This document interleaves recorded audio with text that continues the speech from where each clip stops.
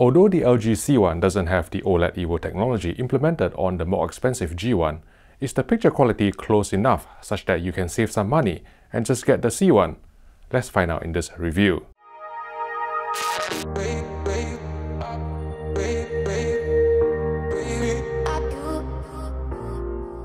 Hello everyone, my name is Vincent and this is the 55-inch LG C1 OLED.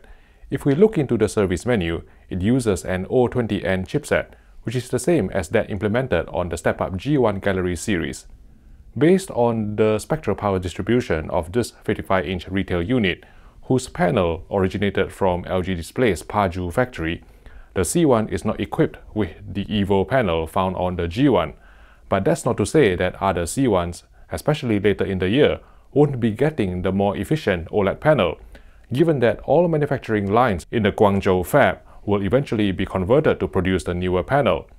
The subpixel structure remained the same as on 55-inch OLED TVs over the past couple of years, with no significant improvement in the DCI-P3 color gamut coverage at 96% UV, while Rec 2020 coverage came in at 72%.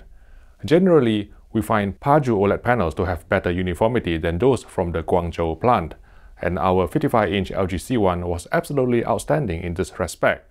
Bright uniformity was pristine as we cycled through full-field gray slides, exhibiting no noticeable dirty screen effect, banding or color tinting.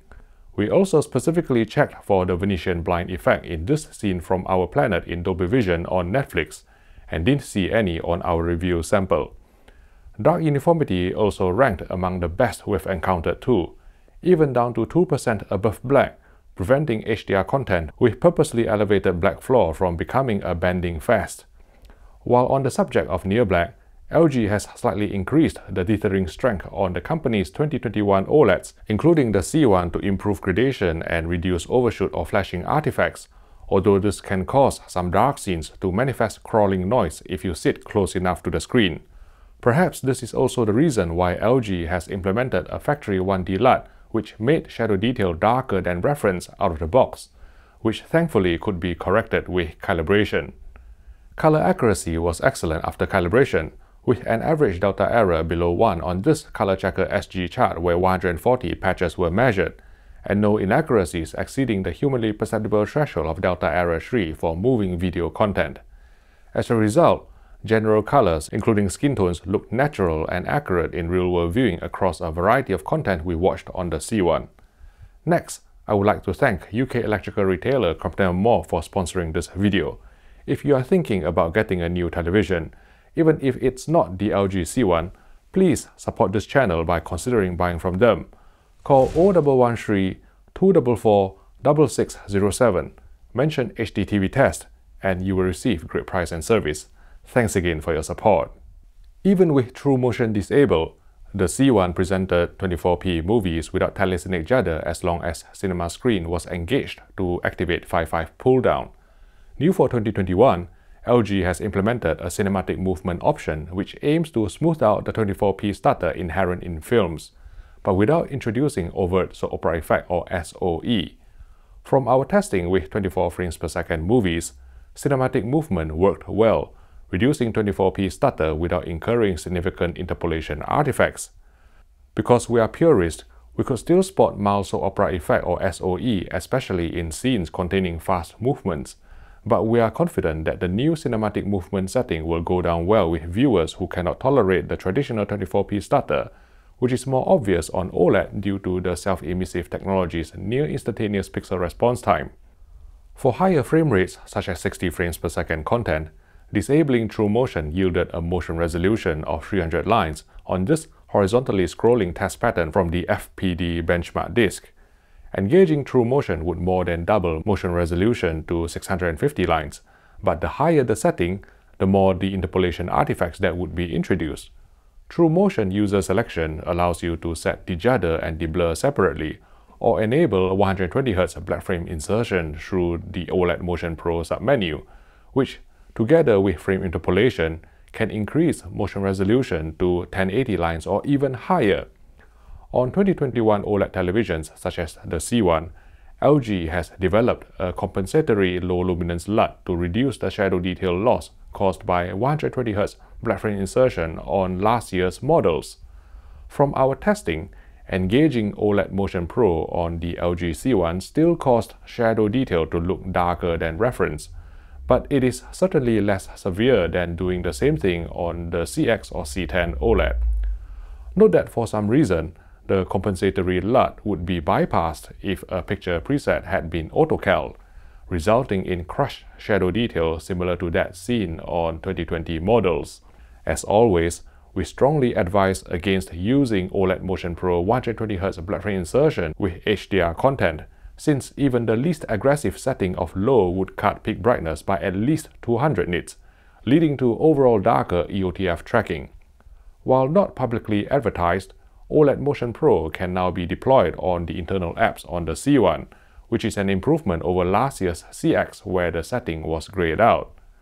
Like on previous LG OLEDs, the True Motion interpolation algorithm on the C1, even with the judder and the blur both set to zero, was easily tripped up by 50Hz broadcast programs we get in the UK and other PAL regions, exhibiting the odd microstutter on head movements and hand gestures. Upscaling was very good on the LG C1, retrieving nice detail from this SMPTE RP133 test card in 576i with only mild junk pixels, ringing and fizziness, allowing standard definition programs to look passable if you even care about sub-HD content these days. The OLED TV suppressed jaggies in video-based interlaced material effectively, as well as detected and processed 3-2 and 2-2 cadences correctly in film-based interlaced content. The C1 also passed full chroma bandwidth from this 1080p test pattern from the Spears and Munsil HD benchmark disc. The LG C1's smooth gradation decontouring filter was more effective than the intermittently broken one on the CX, though we would advise you against going higher than the lower setting to prevent scrubbing away a lot of fine detail. After running in our LG C1 retail sample for at least 100 hours, Peak brightness measured 760 nits on a 10% window after calibration to D65 white point and 130 nits full field. Note that the 760 nits was achieved in the HDR Cinema Picture mode which measured about 50 nits brighter than Filmmaker mode, which is slightly strange considering that no such difference existed on the CX on the latest firmware at the time we filmed this video in April 2021. Anyway, Compared side by side against an LG CX manufactured in February 2021, we struggled to see any meaningful improvement in HDR peak brightness for reasons we've explained previously in our LG G1 review.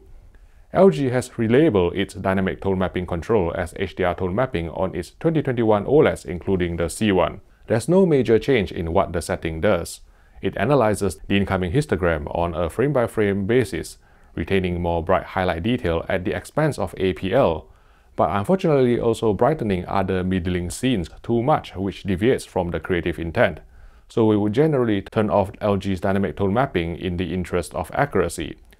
We checked out Monster Hunter in Dolby Vision on Netflix and saw no floating blacks in the end credits both before and after calibration. Even though native 10-bit gradation wasn't the cleanest judging from this frame in The Martian, the smooth gradation decontouring filter worked well to smooth out the posterization in the sky behind Matt Damon, even on the lowest setting. While we're at it, we also noticed that in game mode, enabling smooth gradation had little to no effect, probably because lots of video processing had to be disabled to keep input lag low. Talking of which, with Game Optimizer engaged, input lag at 60 frames per second measured below 10 milliseconds with boost mode enabled, and below 5 milliseconds at 120 frames per second. Note that in order to activate OLED Motion Pro black frame insertion, Boost mode, which simulates receiving a 120 fps signal from a 60 fps source, has to be disabled first, after which input lag would increase by half a frame to 21 milliseconds at 60 fps and 13 milliseconds at 120 fps. Next, we ran the NVIDIA G-Sync Pendulum demo using an RTX 3090 card and the result was smoother than a mixture of butter and KY jelly. At 4K 120p, the C1 resolved full 3840 x 2160 resolution according to this test pattern from Brian Maciola, but exhibited significantly more posterization than usual on this 10-bit quantization ramp from the Display HDR app. Thankfully, this could be rectified by going into the ThinQ Home dashboard, editing the HDMI input, then changing the icon to enable PC mode, which resulted in noticeably smoother gradation.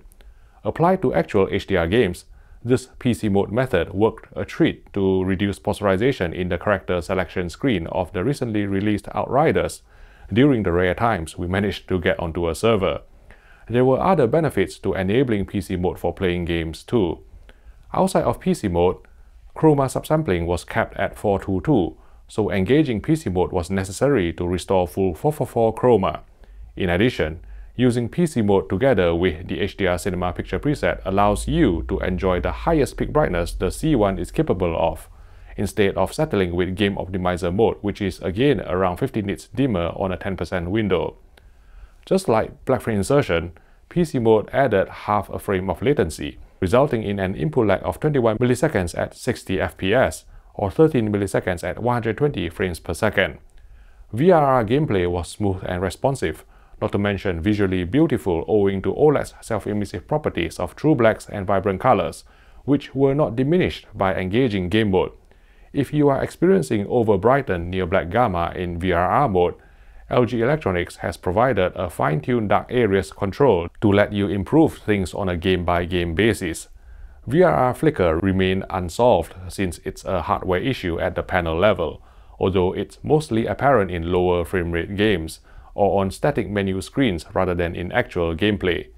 HGIG support was well implemented on the LG C1, providing a hard clip of 800 nits at source, which is the same as last year's CX or C10 OLED. Unlike other OLED manufacturers, LG continues to offer 4 HDMI 2.1 ports on its higher-end OLEDs including the C1. The HDMI 2.1 bandwidth is 40 gigabits per second instead of the full 48 gigabits per second permitted in HDMI 2.1, but this is becoming less and less of a sticking point given that neither the Sony PS5 nor the Xbox Series X supports 48 gigabits per second anyway. Design-wise, our LG C16 retail unit is finished in off-white at the back, but there's also a C14 variant with dark grey rear panel, which may be exclusive to certain retailers. Let's sum up. While the LG G1 and in particular the Sony A90J have hogged all the early limelight due to their brighter OLED panel, the smart money should be on the C1 which comes surprisingly close to matching the picture quality of the more expensive G1, only slightly losing out in brightness terms.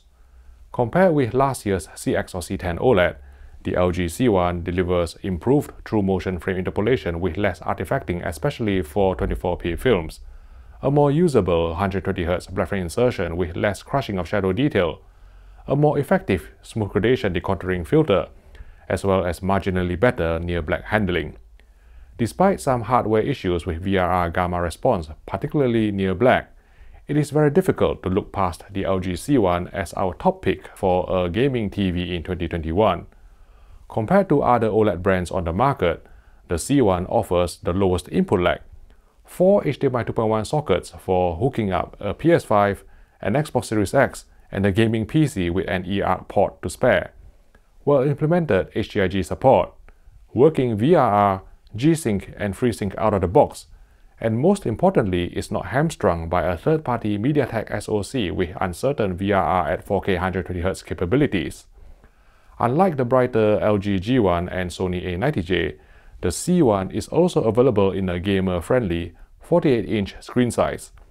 Even though its near-black cleanliness, native gradation and 50Hz motion interpolation could still use some improvement, these minor shortcomings do not stop the LG C1 from being a great all-rounder, especially when gaming credentials and price are taken into account, and so it earns our highly recommended award.